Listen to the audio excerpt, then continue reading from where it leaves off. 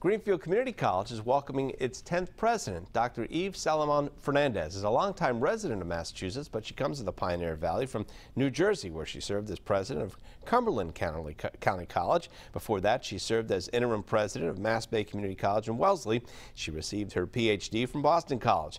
In a news release from Greenfield Community College, Salomon Fernandez says that she wants to spend her first few months getting to know her colleagues and the community.